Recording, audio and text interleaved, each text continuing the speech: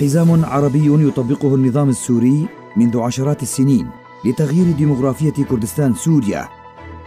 تكمله سلطة الوكالة حزب الاتحاد الديمقراطي بيدا تنتهجه وتطبقه الفصائل السورية المسلحة في المناطق التي تسيطر عليها.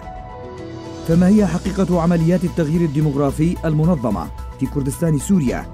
وما هو دور الأطراف التي تشارك فيها إلى جانب النظام؟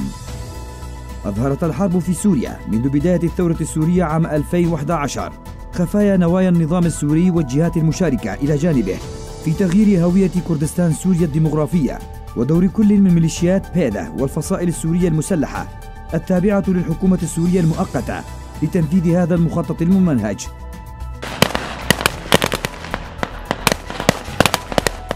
متى بدأ النظام السوري بتطبيق خطته المنظمة؟ وما دوره في التغيير الديمغرافي؟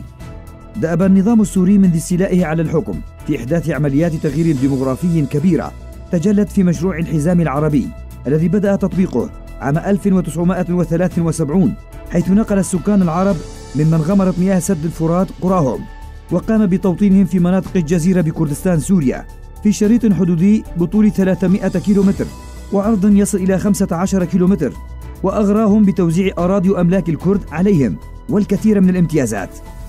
فما هو دور ميليشيات بيدا في التغيير الديمغرافي بكردستان سوريا؟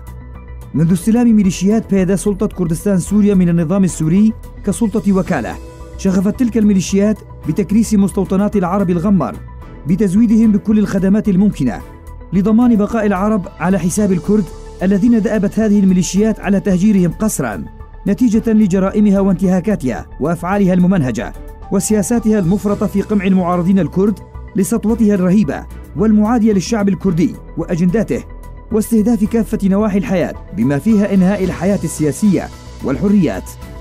كيف جسدت الفصائل السورية المسلحة التغيير الديمغرافي في المناطق الكردية؟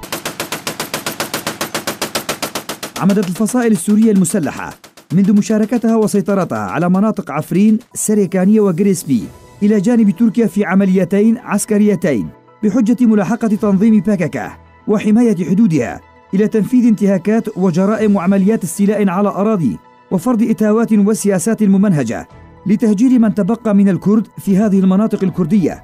واستخدمت تلك الفصائل عوائلها وأهاليها ونازحين من مدن سورية أخرى وأسكنوهم في ديار الكرد وحقولهم وبنوا لهم المستوطنات.